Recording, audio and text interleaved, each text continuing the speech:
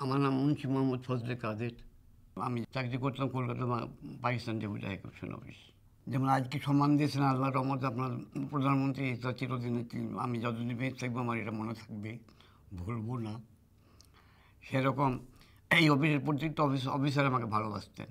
আর আমি সার্ভিস, এই পাকিস্তান টাইমে মানে এটা একটা ইতিহাস, বুঝছেন না? আমার অল্প বয়সে আমার আব- আব- আব্বা মারা যান, তখন আমার সাত বছর বয়স।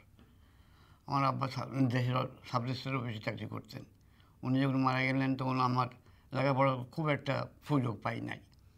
যাই হোক, পাকিস্তান পিরিয়ডে আমাদের দেশের লোক অনেকেই সার্ভিস হিসাবে অপশনাল দিয়ে রাজশাহী মানে মুর্শিদাবাদ তিন দিন পাকিস্তান ছিল, বুঝছেন না? সেই জন্য আমাদের দেশে যারা সব এই যে মাহমুদুল নবী এই সব ধরনের লোক যারা সব এসেছে, এরা, এর মাহমুদুল নবী ঠিক আসেনি ওর বাবা, আব্বা এসে, এসেছিল। তো ওই সব টাই লোক ধরনের লোকরা যখন চলে আসলো, তা তখন আমরা মনে করলাম যে, ইসলাম, আমরা হিন্দু ছিলাম একা থেকে গেলাম, কী ব্যাপারে সব বাড়ির পাশ থেকে, সব ঘর ফাঁকা? আর সেই লোক দেখেন, একাত্তর সেটা পরে আসছি।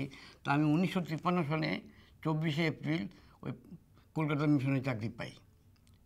তা তখন আপনার ওই আমাকে যিনি চাকরি দিয়েছিলেন, তাদের বাড়ি হলো এই মুর্শি ওই বীরভূম জেলা। তিনি ওখানে ছিলেন সুপারিনটেন্ডেন্ট। তার মাধ্যমে চাকরি পেয়েছিলাম এবং ওই কন্টিনিউ সেই পাকিস্তান থেকে টাইম থেকে এই একাত্তরের বা তারও বেশি সার্ভিস করেছি। আমার কোনো বই নয় আমি ফার্স্টে পাকিস্তানের যে ডেপুটি হাই কমিশনার ছিলেন ক্যালকাটায়, তার তিনি ছিলেন ঢাকার নবাব ফ্যামিলি খাজা নাসরুল্লাহ। আর লাস্ট যেটা বাংলাদেশের ডেপুটি হাই কমিশনার ছিলেন সেটা এই হোসেন আলী। মানে পাকিস্তানের deputy high commissioner last Ali. তখন আমার কাজ ছিল মানে কি, ওই যারা এখান থেকে চলে গেছেন তাদের জন্য রাখার জন্য আমার কোনো কাজ ছিল না।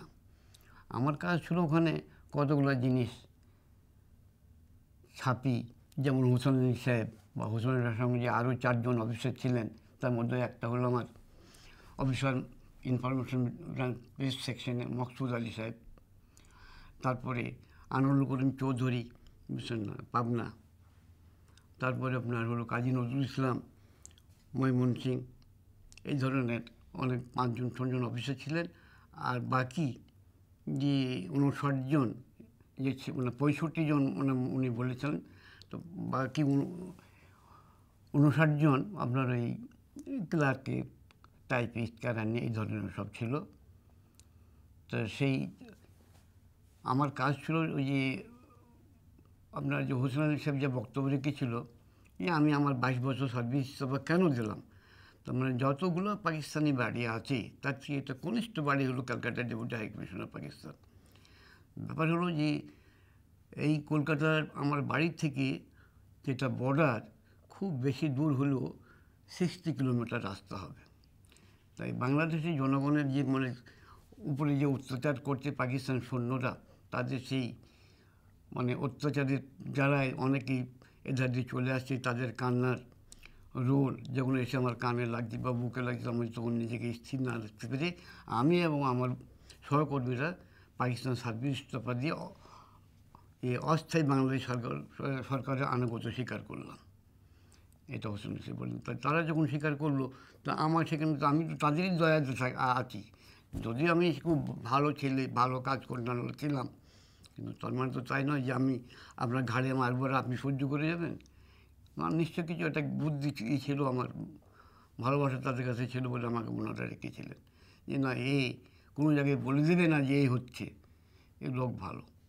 যার জন্য আমাকে সেই অফিসাররা সব রেখেছিলেন, বুঝছেন? মকসুদ সাহেব আমাকে সঙ্গে করে নিয়ে আসলো। মানে আমি ওই একটু আল্লাহর নাম নিয়ে একটু নামাজ টামাজ পড়ি, তো উনি আমাকে খুব ভাইয়ের মতন দেখতেন একদম। তো উনি কথা কথা বলতে এই কাঠমোল্লা, তুমি বাড়ি যাবে নাকি? হ্যাঁ স্যার, বাড়ি, তুমি শনিবার দিন বাড়ি যাব। তো বলল, আঠেরোই এপ্রিল? বলতে এগুলো কান্নাইতে যাই, বুঝছেন এসব তো যাই হোক মানে উনি ওই আমাকে বলল যে এইটা ওই যে বলব না যে, বাইশ বছর সার্ভিস কেন ছাড়লাম? তো ওই টেন সিল মানে কেটে উপরে নিয়ে যায়, অফিসারে নিয়ে যায়। আমাকে বলে, তুমি ম্যাচন রুমে থাকো, আমার আর দুবার তুমি ছাপবে ছাপবে। তো ওই রাত একটাই যে ভোট এই সাড়ে পাঁচটা ছটা পর্যন্ত সাতশো পেপার আমি সাইক্লোসাল মেশিন দিই ঘুরি কিন্তু বের করে গেছিলাম তারপরে উনি আমাকে জিজ্ঞাসা করলেন মকসুদ সাহেবকে হোসেন আলী সাহেব যে সব ঠিক রেডি হয়ে গেছে? হ্যাঁ। বলে বলো কাজী মেয়েকে সেট করতে বলো। ওই সেট করলাম দিয়ে তারপরে তখন বেলা এগারোটা পঞ্চান্ন এরকম হবে। তোর বলে যে "আচ্ছা, ঠিক আছে মকসুদ তুমি এক কাজ করো তোমার কাজী মেয়েকে বলো। এই আমাদের ফ্ল্যাগ তোলার আগে ওই জন্য এখান থেকে ওই ওগুলো সব সাইকেলে করে নিয়ে প্রেসে দিয়ে আসে যেই তা তখন ইন্ডিয়ায় প্রেস ছিল মাত্র ছটা পেপার ডেলি নিউজ পেপার ছটা ছিল।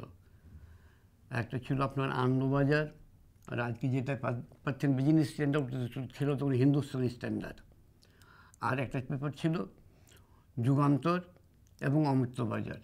তা যুগান্তর অমৃতবাজারটা উঠে গেছে ওই আনন্দবাজার এটা আছে। আর স্টেটসম্যান ছিল আর বসুমতী, এই ছটা পেপার ছিল। এখন তো অনেক গাদা পেপার প্রেস হয়ে গেছে। আর পিটিআই ইউএনআই সংবাদ সংস্থা, এগুলো দিয়ে দিয়ে এসেছিলাম। পতাকা যখন উঠল, তখন কিন্তু আমি ওই ফিল্ডে ছিলাম না। কেন ছিলাম না? ওইগুলো নিয়ে বেরিয়ে গেলাম, বিলি করতে গেলাম, বুঝছেন না? কিন্তু এগারোটা পঞ্চান্ন মিনিটে ফ্ল্যাগটা উঠেছে।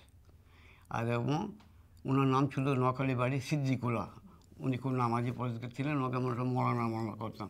উনি এবং আমাদের অফিসের অফিসাররা আর দুজন, দশজন স্টাফ কোরআন তেলত করে ফ্ল্যাগ লাগানো হয়। আল্লাহর কোরআন পাক তেলত করে ওইটা ওঠানো হয়। এই তারপর তখন দলে দলে লোক, আর যখন আমরা ফ্ল্যাগ তুলিনি, তখন ওই নানা রকম স্লোগান দিয়ে সেখান থেকে যারা সব গিয়েছিলেন, এই যাদের নাম করলাম, যে মনে হয় যে কবি নজরুল কণ্ঠের মতো এ কাঁপি মনে হয় এই পাকিস্তান ডেপুটি হাই কমিশনার যিনি আছেন, তিনি বোধহয় বাঙালি নন নন বেঙ্গলি। এইসব ধরনের বলতো, যদি বাঙালি হতেন তাহলে তিনি কি স্থির থাকতে পারতেন? নিশ্চয় কিছু একটা করতেন। এইসব ধরনের কারণ সব লোক তন্ত্র বিদ্যুৎ চলে আসছে এধারে। ওই সময় লিবারেশন কতগুলো লোক আমরা খুব ভালো কাজ করেছে, যেমন এই নখালির আব্দুর রব, বুঝলেন না? মানে খুব ভালো কাজ করেছে। মানে আমার কাছে আসতো যদি কাদের ভাই? টেন্সিল পেপার আছে হ্যাঁ আছে তাহলে ভাই আমরা ওই টেন্সিল কলম দিয়ে লিখে দেবো আপনাকে কিন্তু ই করতে হবে ওই সাইকেল দেবো ওই লিখতো কি বাংলাদেশ কেন বাংলাদেশ কোন পথে এই ধরনের বক্তব্য সব ওরা লিখতো আমি সেটা ছাপিয়ে দিতাম এবং কেটে ওই বইয়ের মতো করে দিতাম ওনারা বাই পোস্টে নানান দেশে পাঠাতেন তারপর ছিল ওর নাম হয় আহ, সিদ্দিক বোঝা ওর বাড়ি ছিল এই যে ঝিনাইদহ যশোর যশোর ডিস্ট্রিক্ট বুঝছেন না? এখন বোধ হয় ঢাকাতে কোন জায়গায় থাকে। তা ও খুব খেটেছে। তারপরে ছিল আপনার আমিনুল হক বাদশাহ। সব থেকে যে বেশি সে তিনি বোধহয় প্রেস সেক্রেটারি ছিলেন, বঙ্গবন্ধু শেখ মুজিবুর রহমান সাহেবের। তো উনি খুব খেটেছেন। উনি খুব খেটেছেন। আমিনুল হক বাদশাহ কোথায় আছেন জানি না।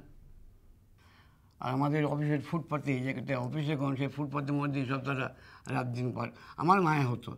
যখন আমি ওই নিজের কাজ সেরে রাত দশ, দশটার সময় সাইকেল নিয়ে বাটা যেতাম, তখন ওনাদের ওই অবস্থা দেখে আমার খুব দুঃখ লাগতো এইসব এইসব ভালো ভালো ছেলে শিক্ষিত, যেমন যে আপনার এখন একজন আছে, উনি ঠিক আমাকে চিনতে পারবেন নাকি জানি না। যে চিত্রগানের যিনি আপনার মেয়র, ওই মহিউদ্দিন চৌধুরী, উনি যখন গেলেন যখন ফ্ল্যাগ তুললাম আমরা, তখন আট দিন পরে উনি ঢুকলেন রাত তখন নটা। যিনি মেজর ছিলেন উনি গাড়ি নিয়ে ঢুকলেন, তারপরে যে রাইফেল নিয়ে, চারটি রাইফেল, তারপরে নানা গুলি টুলি নিয়ে যে সেকশনে আমাদের কাজ হচ্ছে, আমি যে সেকশনে, তাই প্রেস সেকশনে তো সেখানে যে ওনারা কথা বলছেন আমার তো দেখা অনেক কার সঙ্গে কথা বলছে, আমি নিজে আপনার কাজ করে যাচ্ছি। তারপর ওই সময় আমাদের অফিসে যারা সব অফিসার ছিলেন, বড় বড় তাদের মধ্যে একজন ছিলেন আর আই চৌধুরী ওনার নাম, ওনার বাড়ি নোয়াখালী, বোঝাই অরিজিনাল। তো ওই সময় ওরা উনি যখন যে করলেন, তখন ওই আর আই চৌধুরী আমার ডাকলে কাজের মেয়ে, আপনি আসেন নি কেন? হ্যাঁ স্যার, কাজ করছি। বলে এখানে আসেন। ওই তখনই মেজরকে বলল যে দেখেন, ওই আমাদের এখানে সব সময় পাবেন না। তবে এই যে আজ থেকে কেন আজ দশ দিন থেকে ও কাদের মেয়ে এখানে কাজ করছে।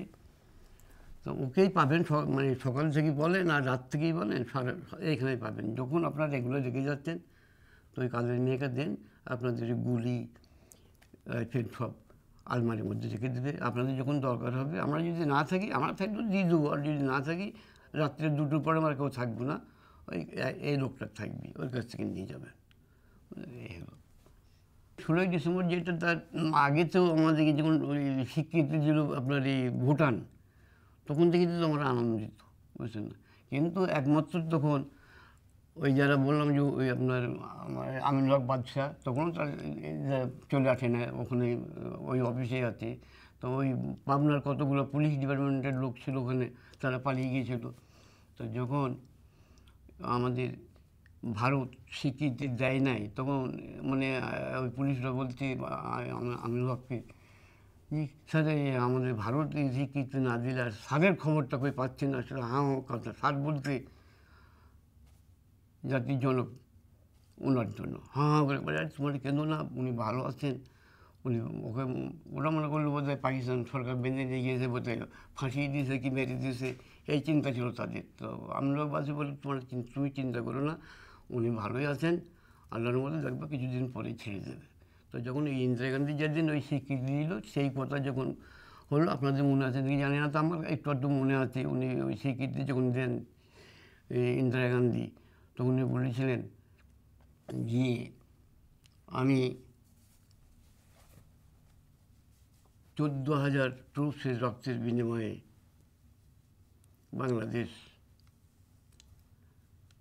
আমি স্বীকৃতি দিলাম। এবং বিশ্বের মধ্যে সব থেকে বড় মুসলিম রাষ্ট্র, এটা কিন্তু আমি জানতাম না, বুঝছেন না? সব থেকে বড় মুসলিম রাষ্ট্র, বৃহত্তম মুসলিম রাষ্ট্র হলো ইন্দোনেশিয়া। তারপরে হলো সেকেন্ড বাংলাদেশ, এবং সেটা উনিই বলেছিলেন ইন্দিরা গান্ধী, যদি তখন তো এই টিভি বাংলাদেশে ছিল, কিন্তু আমাদের ক্যালকাটার বা পশ্চিমবাংলার কোনো জায়গায় টিভি সেন্টার ছিল না, কারও ঘরে, ওই রেডিও ছিল, ওই রেডিও তো শুনেছিলাম।